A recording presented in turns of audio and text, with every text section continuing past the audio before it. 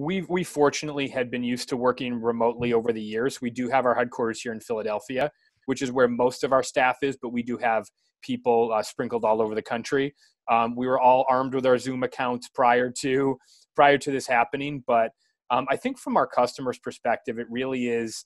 Um, you know, it really depends. It's company to company because you know one of our one of our major com- uh, customers is the country's largest internet service provider, and they're slammed right now. They're they're one of the most important companies in the country right now, and it's putting all sorts of different strain on them from a capacity perspective than it is on on other companies, maybe in the manufacturing and the banking space. So it's really kind of industry to industry right now.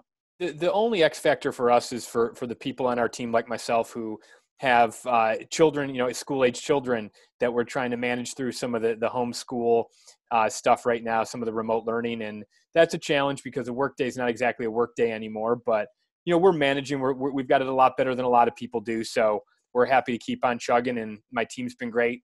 We know we're talking daily, doing our Zoom calls. So we're making it work for right now.